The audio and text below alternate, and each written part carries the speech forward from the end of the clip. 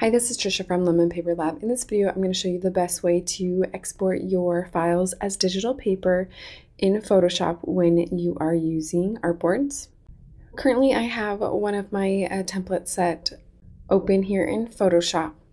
In the past, what I've recommended was going to File, Export, Export As.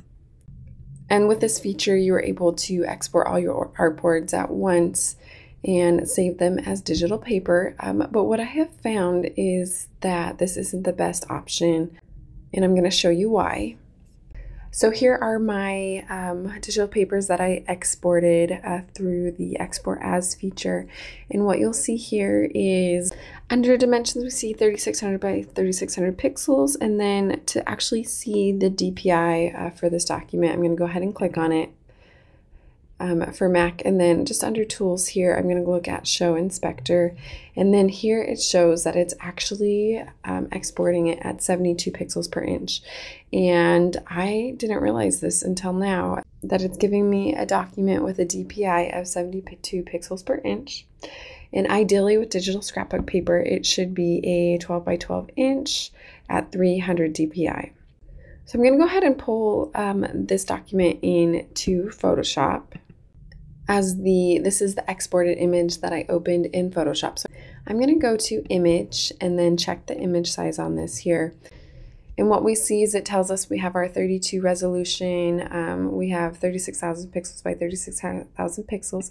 But if I actually change this to inches, it actually shows us that this document is 50 inches by 50 inches at 72 pixels per inch. So basically what that means is if we scale this image down to uh, 12 inches by 12 inches, which is standard with digital scrapbook paper, we'll still get our 300 DPI. So we still have the same DPI that we want with this image, but it is a lot larger than what we are anticipating. So with that being said, I do not recommend the export as feature anymore, um, but I will show you what to use instead.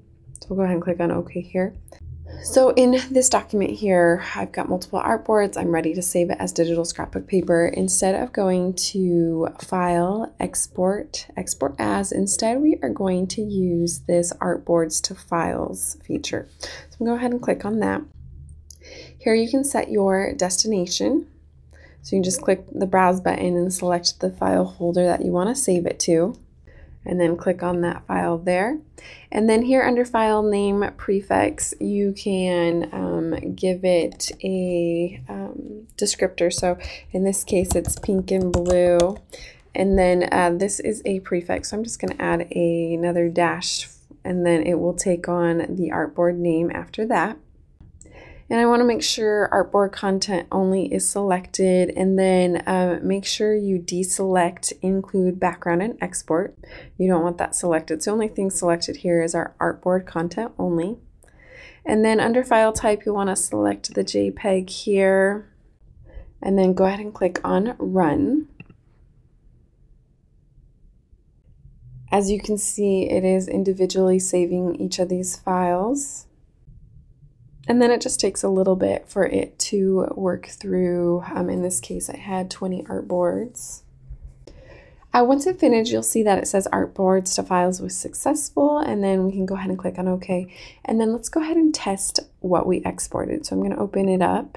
In our files here, we see that it added that prefix pink and blue, and then it took my artboard name here. So let's go ahead and open this file.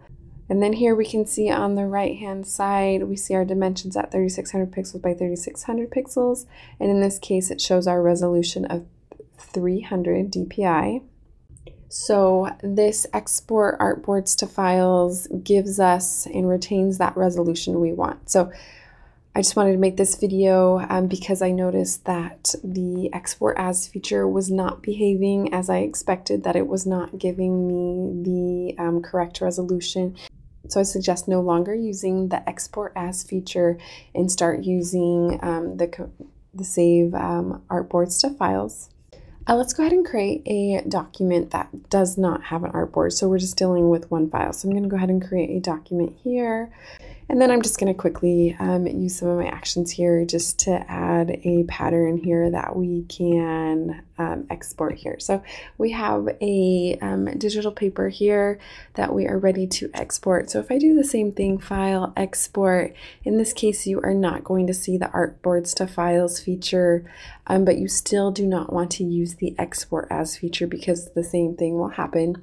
In this case, for a single paper that you want to save as digital scrapbook paper, I recommend using save a copy. So we'll go ahead and click on that here.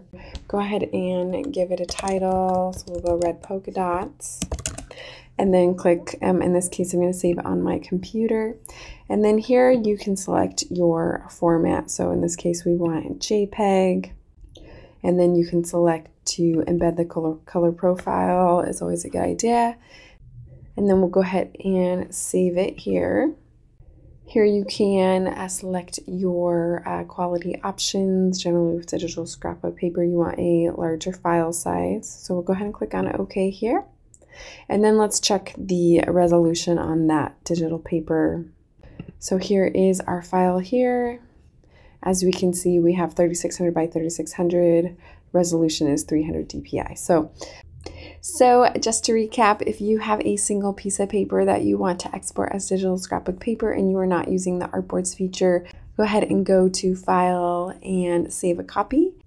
In the case of when you are using multiple artboards, you'll want to go to File Export and then use the Artboards to Files feature. This will help to maintain the 300 dpi um, resolution that we want with digital scrapbook paper and make sure you are no longer using the export as feature in Photoshop. Thank you for watching this video. This is Tricia from Lemon Paper Lab. See you next time.